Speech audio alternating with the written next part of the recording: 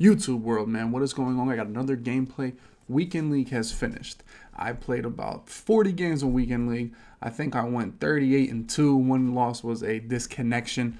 You know what happens, you know. So if you're watching these games live, twitch.tv slash dub dot, you can catch all the action every night we're live playing some type of Madden, whether it be Weekend League, whether it be uh, MUT Head to Head, whether it be Players Lounge matches, whatever it may be that is what we do every single night. So make sure you check me out there. Also, before I get into this video, I want you guys to follow my Instagram. I'm going to be doing a PayPal giveaway or Cash App, whichever one you want. Now, I want you to log on to my Instagram, follow, and I want you to leave your Cash App or your PayPal below this picture. I will choose 10 people to send $10 to just for this video. So make sure you guys get that done. Now, let's talk about Madden. One thing that has been sweeping the MUT community, the MUT world, has been these two streaks chucking the ball high to Kelvin Benjamin in this video. You'll see Randy Moss, Calvin Johnson, whoever it may be. Um, and, and, they're just chucking streaks and they get position in front of your DBs, which, uh, as much as it's kind of cheesy, at the end of the day, I really think it, it is kind, I don't want to say realistic, but it's a good way to use these tall, big body wide receivers, and people are really finding a way to do that effectively. And I will tell you, streaming helped me this game because I was sitting there letting these streaks beat me. Uh, one thing, me, I have a lot of pride in my user. I feel like, boom, I should be able to out user you, get in front of the, the wide receiver and get a pick. But with these big body receivers, man, if they high point the ball, like in real life, you know, you're not going to make a big play on them, even with a Patrick Peterson or a Jalen Ramsey, which I use at corner. Now, um, I was playing, and, the game was getting bad, and then Joke, the Madden Bowl champion, if you guys have been paying attention on competitive Madden, was in my chat, and he said, make this one adjustment. And this one adjustment stopped the streaks. This one adjustment changed the game. Now I want to go ahead and get into that adjustment and show you guys uh, essentially what it was. Now, you guys know uh, a lot of times for pass defense, I use, or for run defense, I actually use edge blitz, which is a man coverage based play. And that's what I like to run against their side. I like to run man coverage, mostly to press. Now, these guys uh, at the line of scrimmage, you really can't press them, you know, because they have streak specialists. They have uh, just 99 speed. They're tall. If you try to press them, most of the time you're going to get beat. Now, I will press if I can cover both receivers on one side. If it's an I form slot with two receivers on one side, I will press that way because then I can take my user. If one gets beat by the press, I can cover them. But what most of these guys do is they run.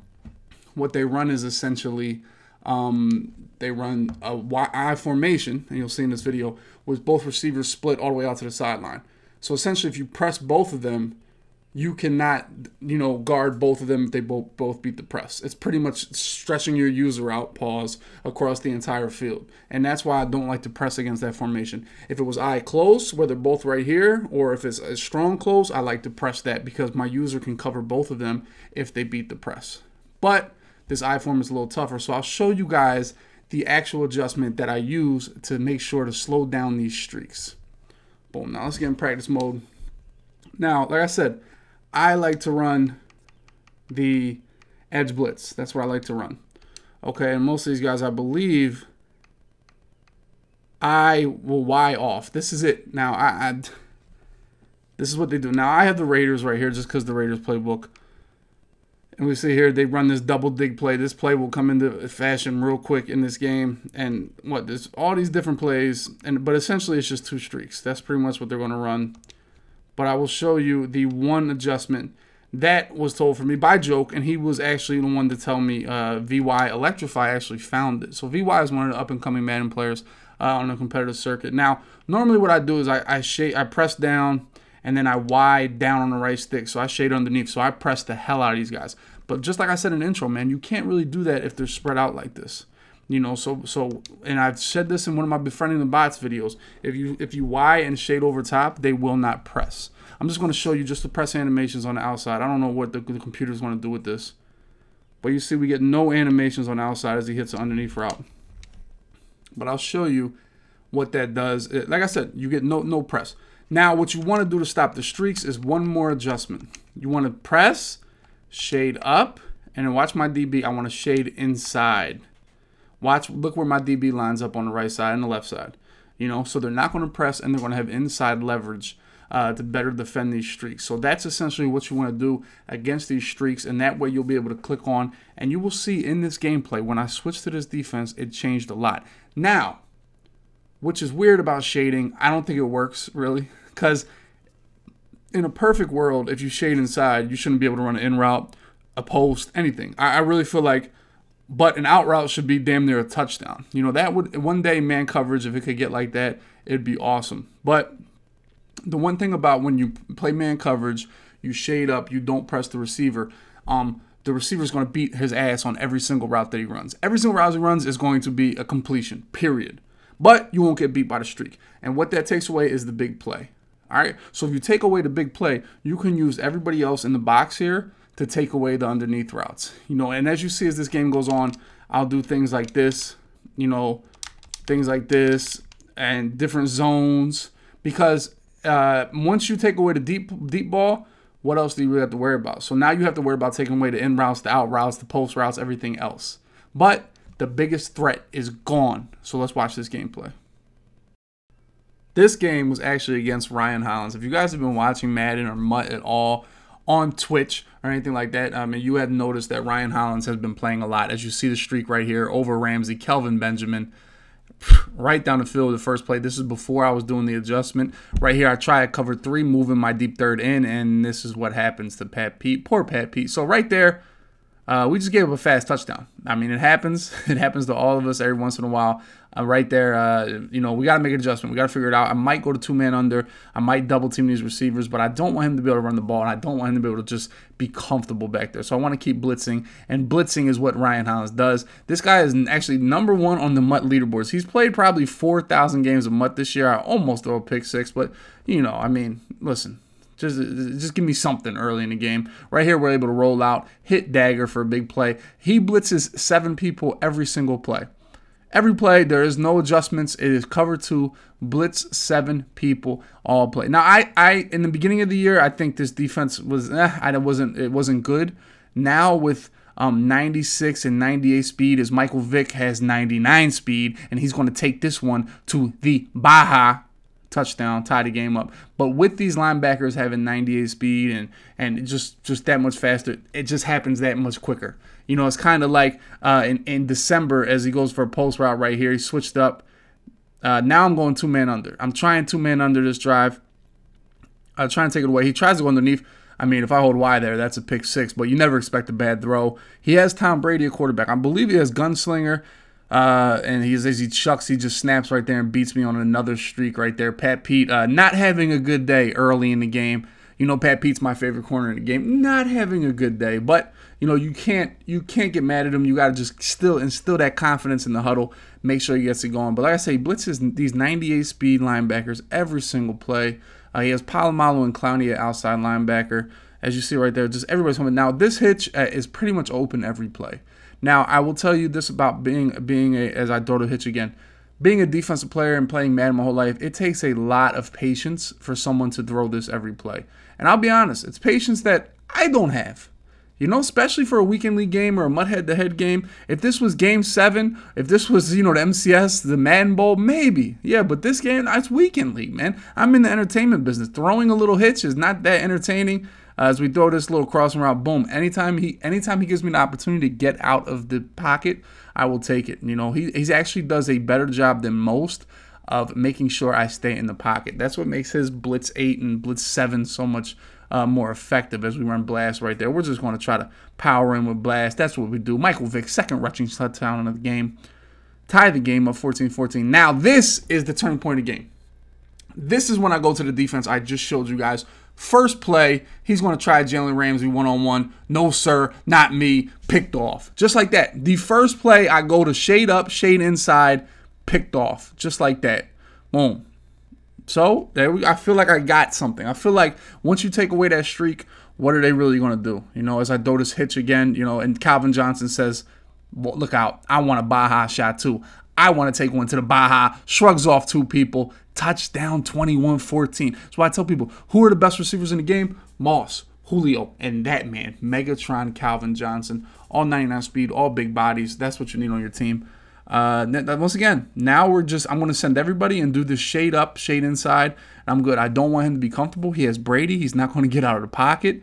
Um, but to his credit, this looks bummy. It's a bummy set, but eventually he's going to start, you know, throwing other routes. But right now, this drive, he still wants that streak. I am sending every person on my team because he's not going to throw to anybody else. He actually has Gronkowski at running back. Tries to go to just all over. You see him just all over that streak right there. Has to punt, punts the ball to Deion, almost get up out of there. But there we go. Two minutes left. Where I feel like he's bagged. There's really nothing else he can do. And Vick gets out of there. I want to get a block from Ingram right there, but he just, whew, if he got a block, I was out of there for good. Second and three, I actually able to get out the pocket here, pick up a couple yards, actually hold on to the ball. We're lucky. Vick, I mean, you guys know, Vick will put that thing on the ground. Little run right here from Walter Payton. Got to use some clock here. This got to be the last drive of the second half. Another little stretch right there. I got to slow down a little bit. Okoye was just, I think Okoye is kind of ass at fullback. I don't know about you guys, but I, I don't know if I like him. Uh, but right now, I just want to make sure that he does not get the ball back. That's pretty much what I want to do. And he's using his timeouts now, getting into his timeouts. I, I don't want him to get another drive, and I get sacked right there on third down. So I'm going to kick a field goal, but we're going up 10. I feel like his offense is bagged. It's over for this streak nonsense, chucking streaks. It's over for it.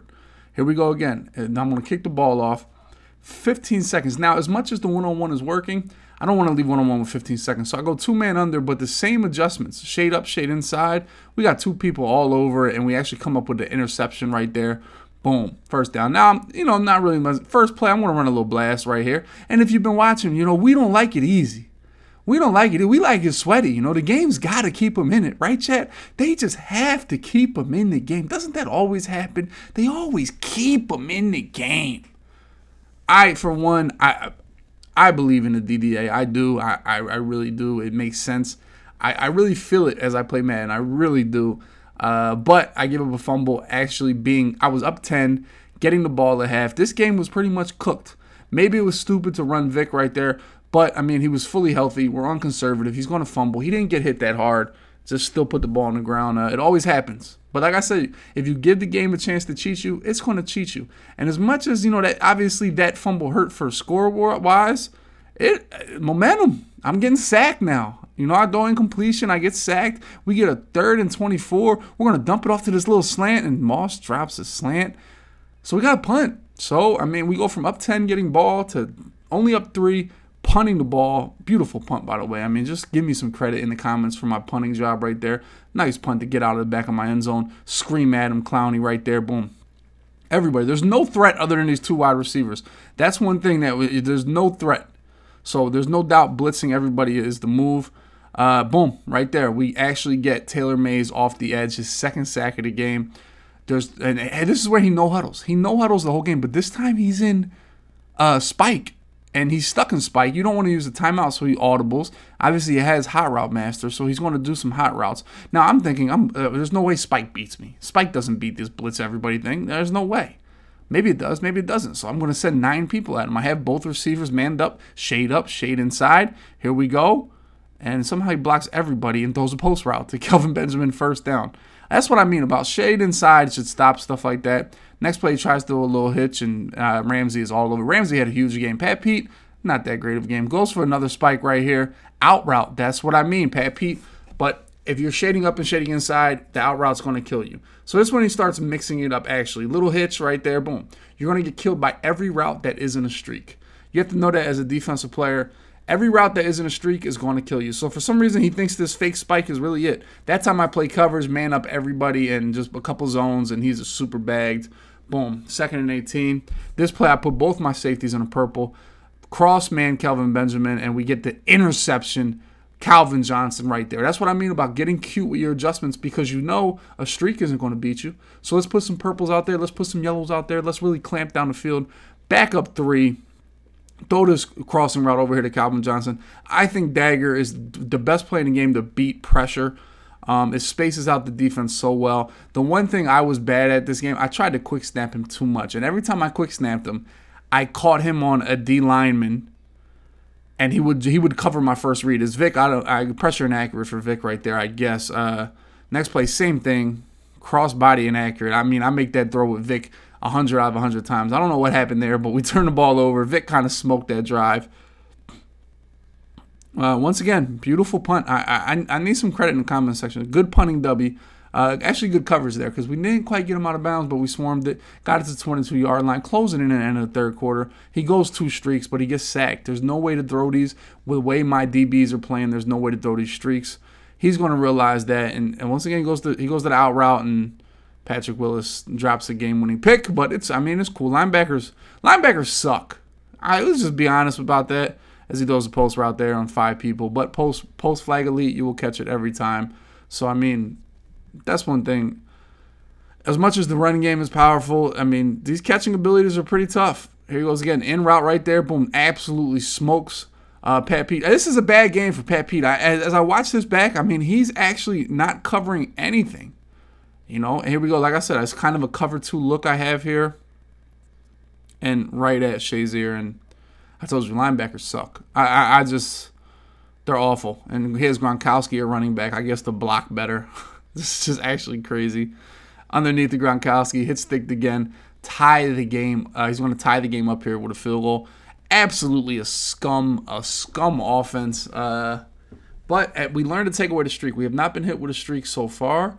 Uh, since that adjustment, we have not been hit with a streak. So I'm cool with that. I, I can adjust and put zones out for out routes, in routes, and things like that. I feel like I should have had two picks that drive as we hit a little slant right here. It's money drive time. It's time to milk a little bit. Time to get to the end of the game as we run a little read option right here with Walter Payton. Boom. Take it to the two minute warning. Second and four. We're looking for the corner route, but I get shedded and run out of bounds and throw the ball away. Third and four. Once again, we're going to go for the crossing route, but who's this man right there? Lawrence Taylor grabs me. Now it's decision time. I'm going to punt, but then I say, you know what? Nah, if I punt, he's one in route or post away from running the game out. If I go for it, even if I don't get it, more than likely I'm going to get the ball back to try to uh, tie the game up. So we're going to go for this. You know, we want to run dagger. That's what we want to run. Obviously, we want to hit Julio Jones. That's all. That's if I can block it, I'm hitting Julio Jones 1,000 percent. Now I'm thinking he might put a quarter out here, so I motion out Ingram on a streak. Then I think to myself, you know what? I'm going to get screamed at. I need the motion block. One of the problems with uh, Trey Wyatt flex is that in order to pick up blitzes, you have to waste a motion and waste a wide receiver. So I'm going to put this flat route to take away any uh, cloud flats on the right. I want to hit Julio Jones. I actually get the pass protection picked up perfectly. He goes to guard the in route. Julio Jones, first down. Just like that, man. And now I'm in business five, ten more yards, I'm in field goal range. Once again, another read option. I want to milk the clock a little bit. And once again, take 10 seconds off the clock. We're able to roll out, get that cut block, throw the crossing around Julio Jones. Boom. Now we're in field goal range. All three of his timeouts left. We're going to run a little dive right there, stretch. Absolutely. They just absolutely blew it up right there. One first down, I win the game. No doubt about it. We're going to go for it right here got everything covered, but somehow the D tackle gets right in there. I feel like I would have lasered that, that streak route for a first down, but it wasn't there. Next play, I step up in the pocket like a G, but somebody sheds me. So we're going to tie. We're going to take the lead. We used all his timeouts. MUT has no runoff, so a minute with no timeouts to get a field goal is still very doable, especially with this new 99 kick power kicker that can kick it from any logo in the game. So it's going to be tough right here. One post route, one streak, I'm done start off blitzing everybody. He throws underneath. I don't know why he would ever waste a play doing that.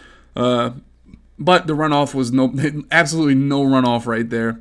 Second and eight, no huddles. Once again, I want to send everybody cloud flat on the left and in route, boom, just like that. I mean, Pat, this is bad. You guys are going to flame Pat Pete for this gameplay, but I believe I believe in that card more than any in the game. Uh, but he is getting killed. Like I said, when you shade up and shade in, inside, everything is open. Uh, he goes for Pat Pete, tries him. No, he didn't. I now listen. I'm telling you, this this new shading technique is bagging these streaks.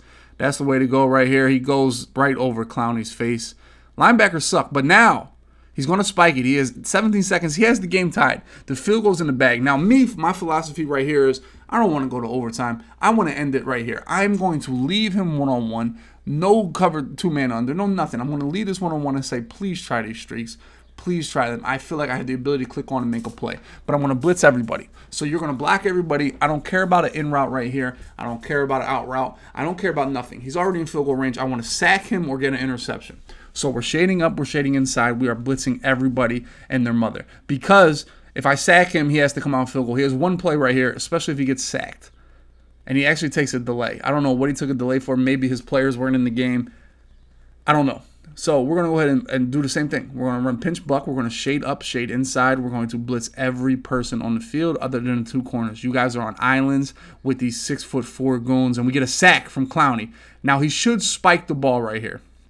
He actually goes in a huddle and he's going to come out and run another play, which is absolutely insane. And I will tell you this, man, it doesn't matter how many cheese plays you run, how many blitz eights you have, stupid is stupid. That's simple and plain. Stupid is stupid. No plays, nothing in the game will stop you from being a bad Madden player. All right, as simple as that. Now I'm mad. I don't know. Ryan has grinded the game a lot, and he's really showed because he definitely has become a decent Madden player. But man, that was stupid. You know, but we'll always take it, and, and that's what you got to do. You got to send them all right there and hope he gets sacked right there. Now, I will tell you guys that um, I love the runoff rule in in on Madden, on salary cap, or on draft champions, or on regs. I love the runoff rule. It makes people pay for shit that he did right there. The fact he was able to actually still be able to get a field goal off is nuts. It's nuts. It should not be uh, that easy to go down the field. Uh, that's why I love the runoff rule in uh, under two minutes. I don't love it throughout the game. I kind of wish we went back to a 30 second play clock in all Madden and everything. But this goes to show you, man, that you know if you make people make a mistake, they're going to make a mistake. You know. And uh, once you once they're in field goal range, you got to go for it all. Try to knock them out. Try to sack the quarterback. Try to keep the ball running. But like I said, I hope you guys implement this new defense for these streaks. It helped me out a lot. So shout out to Joke, the Madden Bowl champion, and VY Electrify for actually trying this adjustment. It's worked very well. Now you're going to have to adjust to the different routes on the field, the different in routes, post routes, out routes. You're gonna have to adjust to that, man. Maybe guess, maybe run a little two man and put put your outside corner in the cloud. Maybe you see linebackers suck. They just do. I mean, they don't do anything if they don't have an ability on them. So I mean, God bless. But like I said, you're gonna get some interceptions. You're gonna slow it down. They will not be able to throw a streak, and most of these guys won't be used to seeing that defense, so you'll get a couple picks on them early. So if you like this, if you like this video, hit that like button. Once again, follow that Instagram and hit that picture up for your chance to win the PayPal Cash App giveaway.